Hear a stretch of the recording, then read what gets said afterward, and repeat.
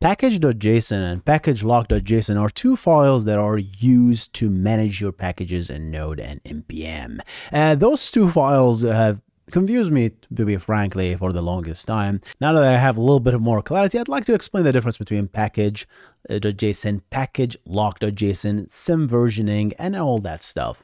Uh, how about we jump into it? So this is a little bit of a different uh, kind of videos. Uh, I usually do a talking head videos, but sometimes I do some sort of a coding and uh, hands-on tutorials like that. So if you like the stuff, subscribe. So I'm gonna go ahead and create a, a beautiful folder here called test, and uh, I'm gonna initialize a new project here. So let's do npm init dash y, and uh, nothing, no project here. Does fancy stuff. I'm gonna create a new J JavaScript file here, and I'm gonna just uh, require express in this my beautiful project it doesn't have to be an actual application you know complete because we're just focusing on the package.json here just the fact that i have done this right I have now a file and I have package.json because I did an npm init. An npm init create just literally an, an empty package.json. There's no dependency, nothing. Know? So what I'm going to do here is do an npm install express because that's a package that I require in my application. And the moment you do npm install express, npm will update the package.json. First, it will download the express package, put it locally, and then update the package.json file, right? And it will tell you that, hey, this is the version I used. And we're going to talk about versioning in a minute. All right, all done. So two files were created package lock.json, I'm going to come to that in a minute, and node modules, which is a large library of all the dependency that Express uses and probably your application in your case, right? So now, if I go to package.json, what did you do to my file, my friend? What did you do? Look at this. It added a new dependency and, and the version here is, this is this called the sim versioning here. Those three parts if you're familiar with that stuff. So the first part is the patch. You always update, fix a bug, you update a patch, right?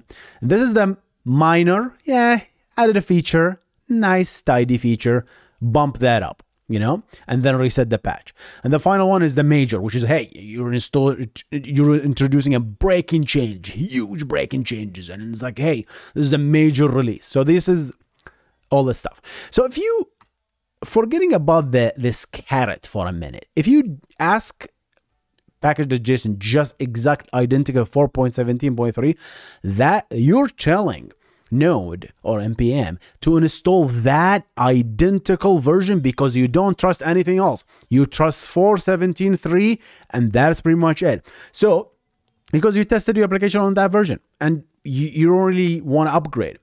However, you're missing out on patches, on minor features and stuff like that, you know? So that's why they add this notation. The first one is caret. The caret, when you see the caret here, there's there are two, caret and the tilde, you know? The caret, I'm probably pronouncing it, butchering the pronunciation there. caret is uh, basically saying that, hey, uh, feel free to upgrade the patch, right? Uh, that means anything. Feel free to upgrade the patch. Feel free to upgrade the minor. If there's a new version of the minor, sure.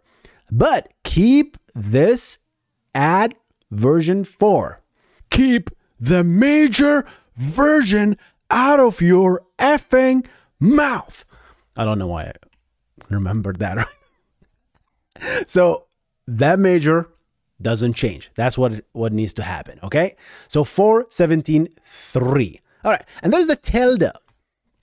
The tilde tells you, hey, I'm a little bit more conservative here.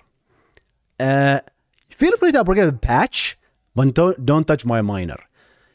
Uh, you can go up to four, five, six, seven, whatever, you know, nine. I don't care. What was the origin value? I forgot. But keep the 17 because I there is a feature in 17 and I know it works. Don't touch it. All right. So that's that's basically what it means. All right, so let's go ahead and, and keep this as is. It was a tilde and then uh, quit. Actually, I'm not gonna save anything. Let's just quit. So now we have package.json. We understand that, right? And there's this huge node module, so which you absolutely shouldn't commit to your GitHub. I know I made this mistake. I sometimes push this thing in my rep and, and you guys call me out all the time. But yeah, you you grow and learn. This is a large libraries. You never push it. There's no point of pushing this stuff. You can always generate it locally, right? It's always safer and you know keep your GitHub clean and uh, safe. There is no need to version this, you know. So you don't push this, but you always generate it from the package.json. But wait a minute, Hussein, my package.json is not really fixed. It keeps changing. So if I push this, right, and a new uh, minor is released, right, and someone downloaded my clone my package, and I just let's say I I I, I certified my application on 417.3, right, and now I push it and hey, all works. Someone download the, the they clone the repo, right? They got 47 they they do an npm install and what do what will they do? They at that moment, let's say Express release version 18, minor 18, right? What will happen is if you do an npm install, you're not gonna get 417, that version I did. You're gonna get 418. And God knows what will happen at that point because I didn't test 18, right? You just happen to test, uh, you just happen to use uh, a newer version that I didn't test. And that, that created a mess. So people, Node team, actually invented this idea of package lock. When you install the, when you install uh, or update your packages, a package lock.json created. It's literally setting the actual version that are used on stones or in. Is it on stones or in stones? I could never tell the difference between the in and on. I swear, you know.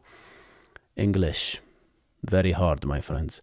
So 417.3, right? So this is this is the dependencies. Package.json have all the dependencies and they are ident identical versions. You know, what actually was installed. So if we go to Express here down, you can see that version 417.3 was actually the version that was installed.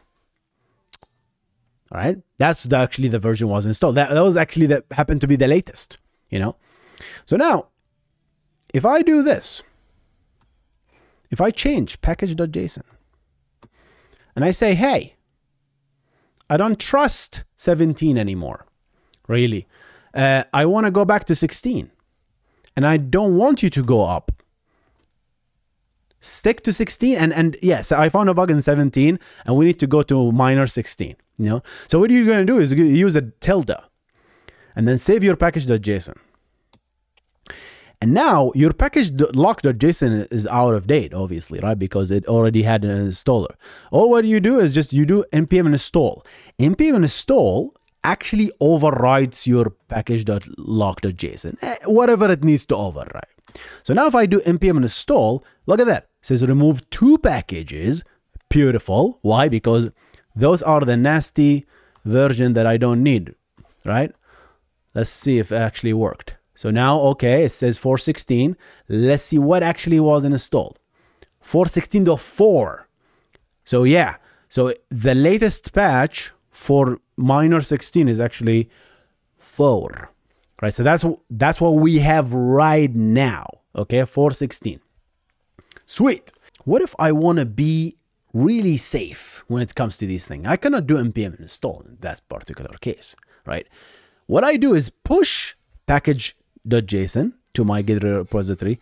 I push package lock.json. Yes, you have to commit this, right? Because that's the exact representation of your library, right? So you push it.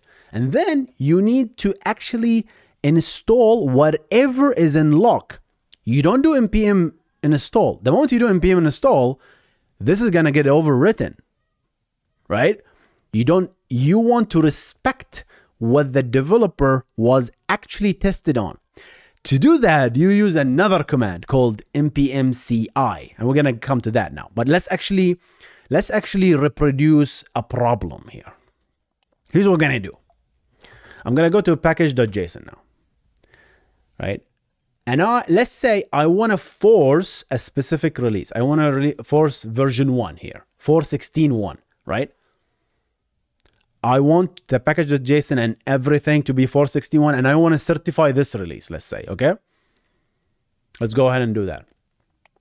And just this is just a test. I want I want to I want to for, force everything to be npm install. Now, obviously if I do that, that will become 416.1 express 416.1. Okay? So that's what I am on right now, okay? That's exactly what I am on. So I am going to change back this to a tilde. Right?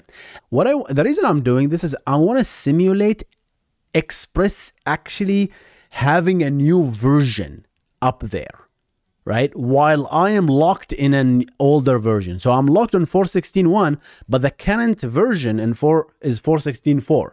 Let's say I didn't update for a while. And I pushed now, I'm pushing these changes now, right? So I'm I'm on 4 uh, I'm on 416.1 while my package.json is in 416.1 and tilde. So my package.json said, hey, okay, you can upgrade the minor. But no, I want to be safe.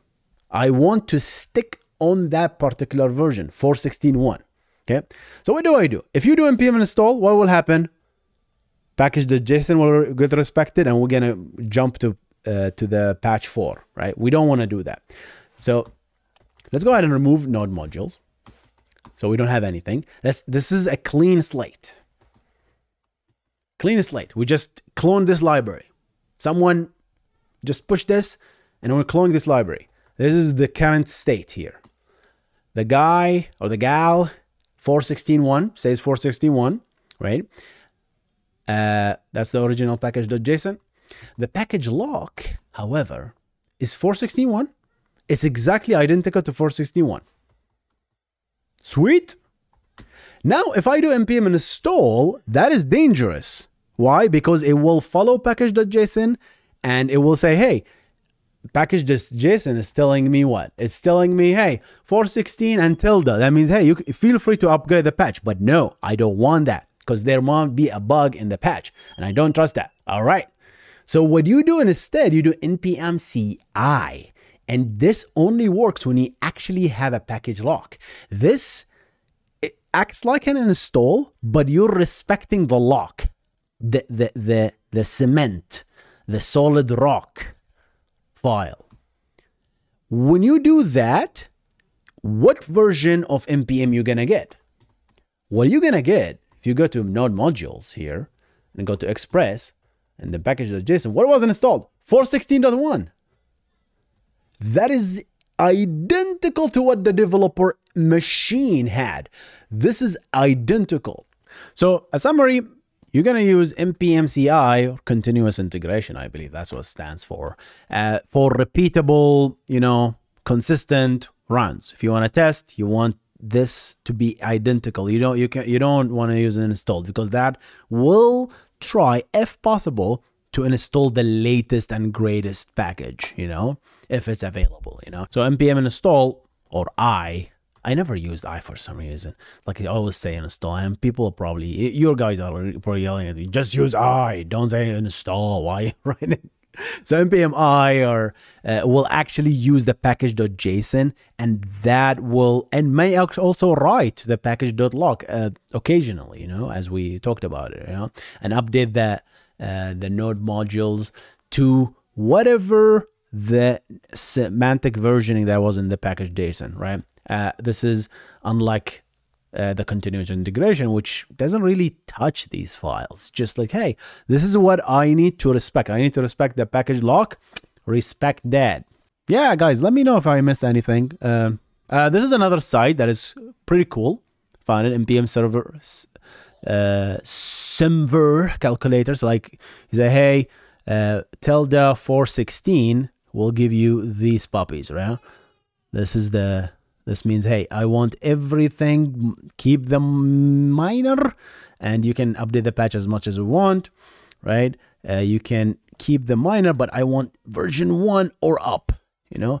You can hey, I don't care about the minor, anything four or later, like 400 will give you pretty much any version four, you know? You can do three, I think. Three will give you only threes, you know? And I think you can do that if you want like multiple versions. I'm not sure. 400. Yeah, exactly. You can do that as well. Like all uh, version 3 or version 4.